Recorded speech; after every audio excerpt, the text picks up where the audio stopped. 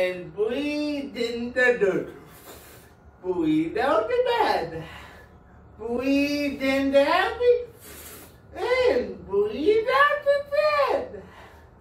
Breathe in your bed and breathe out the wood and breathe in your power.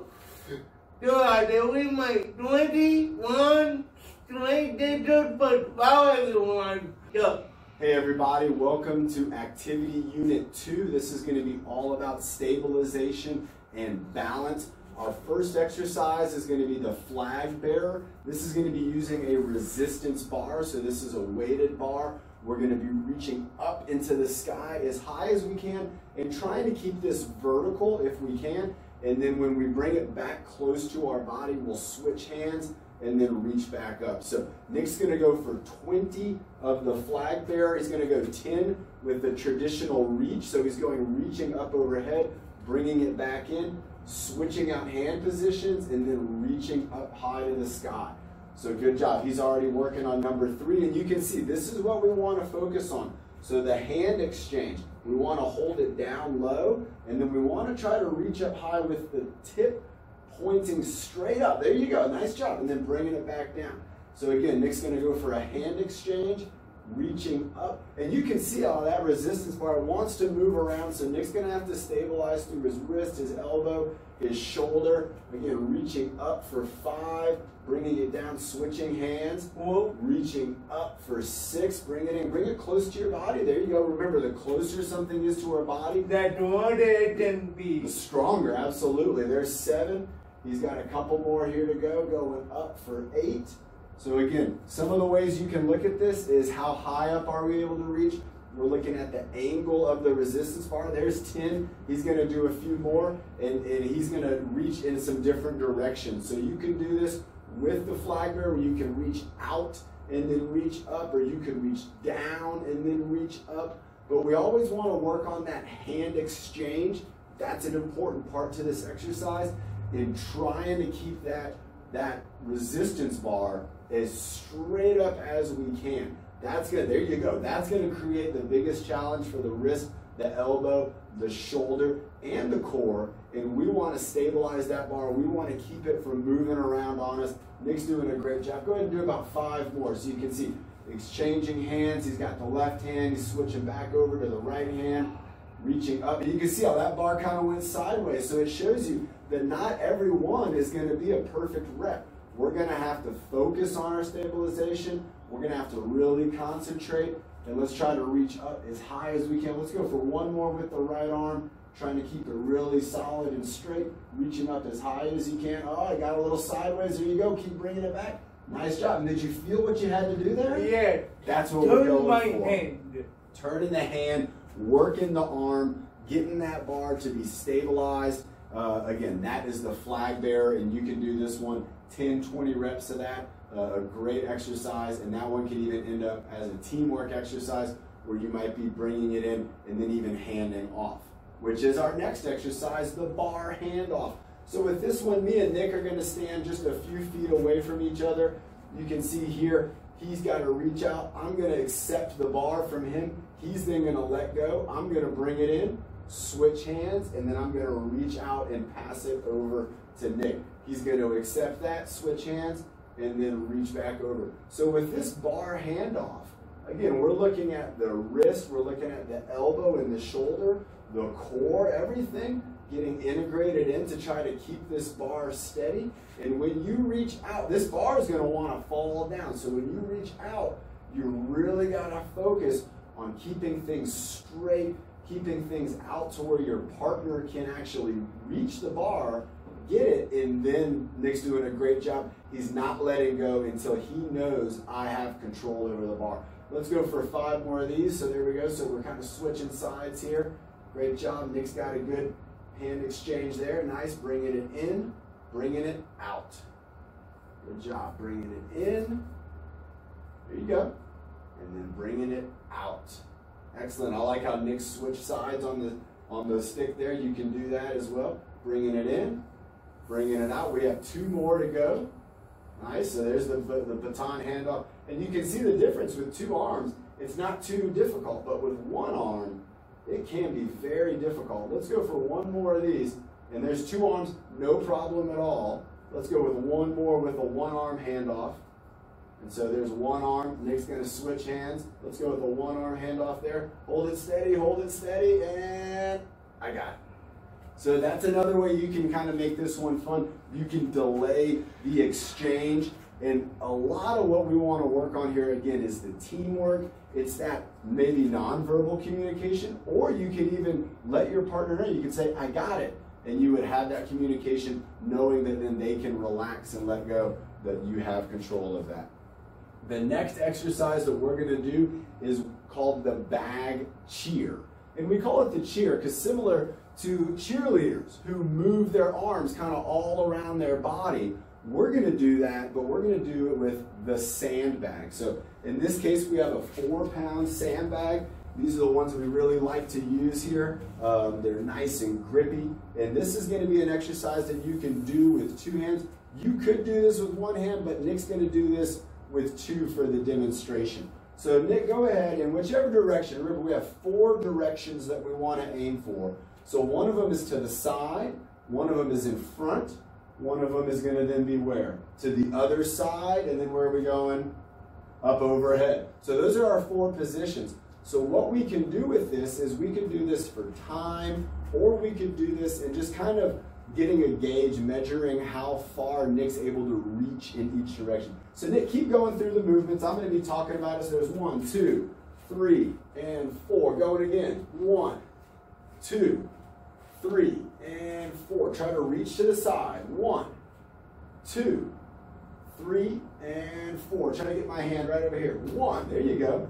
Two, three, and four. And again, one, two, three, and four. So he's going side to side, out and up. And again, side to side, out and up. Here we go. One more. Side to side. Oh, Always going up and over and out. Nice job. Again, what's neat about the cheer, there's a little bit of a pattern to follow, but you can also, just like Nick did, you can get creative and kind of go with the movements where they feel best for you, reaching over to the side or up and in front, in whatever order you choose. Again, this one is kind of looking at are we able to reach out far away from our body with an object and hold our body steady without our arms falling down, without dropping the bag. Again, that's going to show us a lot of this stability and balance through our body as we're moving and trying to keep ourselves centered and trying to keep the bag under control. All right, the next one that we have, this is a difficult exercise, but it's a lot of fun. This is going to be the baton or the dowel clap and catch. So with this exercise, I'm going to grab our dowel right over here. We have a, a traditional dowel. So this is our four foot dowel. Again, you can get these for a couple bucks at, at a hardware store. The goal is to get this to balance the object first. So to balance, it's not going to stay up forever on its own, but we can balance it for a moment before it falls. The goal though is going to be to try to balance it, do a clap, and then catch it before it hits the ground. Now I'm making this look easy. This is not an easy exercise. Let's go ahead and try this out with Nick. So we're gonna try about 10 of these. And so let's go ahead, Nick, on your own, try to find that balance. Remember, keep your hands close to the dowel. Oh, and that was a really good attempt. That was really close. Nick, let's go ahead and try it again. So remember, you gotta think about your quickness. You gotta let go, clap. Oh, he almost got that. So there's two. You're doing great with this. Remember, hands are gonna be close together. You're gonna let go, clap, and catch. Nice, that was three. So what we're looking for out of this, again, are we able to balance the dowel, the baton? Are we able to get it to balance? And yes, Nick is getting some good balance out of that baton. Are we able to quickly get in the clap? And Nick's getting in the clap. And then the last part of this is are we able to get that baton before it hits the ground? Now that's the challenge. And that's what Nick's going to be working on now that we've done this exercise. We can use this as an assessment. Oh, that was another good one. It was just hanging out there. But let me show you if you wanted to do a coach assisted on this.